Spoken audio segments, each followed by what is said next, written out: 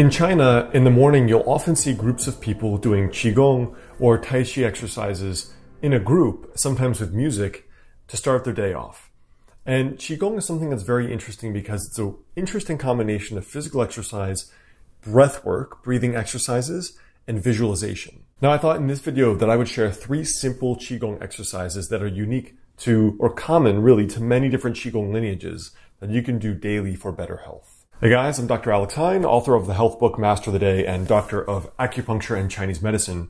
So before we jump into these three exercises, I put together two very important links right below the video.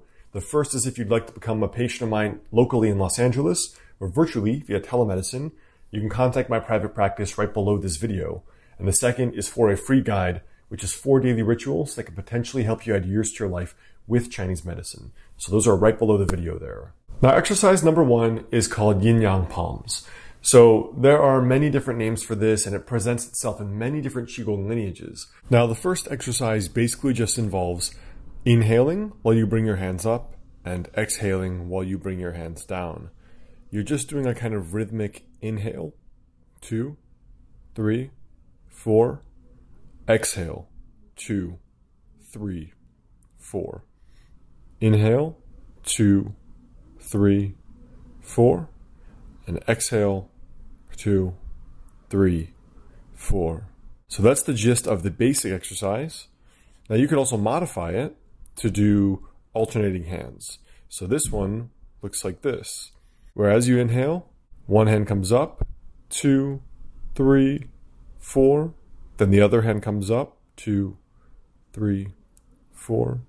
And so one hand comes up on the inhale and the other one's going down. And the other hand comes up on the inhale, two, three, four. So you can either do both hands up and down to the same cadence or alternating. The second kind of Qigong is called shaking Qigong.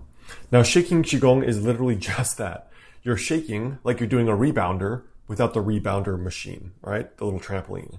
So what this is, is basically a cardiovascular exercise that's also a great lymphatic pump, right? This is the original rebounder, 2000 year old rebounder. Think about it like that. Obviously, good circulation and good lymphatic circulation are very important for good health to prevent disease.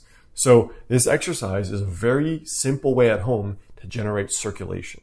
Now, when we talk about the shaking Qigong, basically all it is is that you are standing and you are shaking like a crazy person. And effectively, what it is is that this is a big lymphatic and cardiovascular pump. It's a cardiovascular exercise. So as you jump up and down, you're trying to focus on the looseness and the sensation generated in, obviously, of course, your muscles, but also loosening the joints in the neck, the back, the shoulders, the elbows, the wrists, your hips, focusing on the sensation of loosening and creating more space in your body. So that's really what the shaking exercise you're focusing on is not just jumping up and down like a jumping jack, but also trying to loosen these areas of your body. Now, shaking Qigong, I would recommend at least 10 minutes, but if you're able, at least 20 minutes. And you could shake, I mean, some people shake for an hour or more actually, and it becomes a cardiovascular exercise. So shaking is the original rebounder 2000 years ago. Exercise number three is called tapping. So tapping is often done over specific organ systems or certain channels in Chinese medicine. For example, let's talk about this first tapping exercise, which is done over the lung to improve lung function.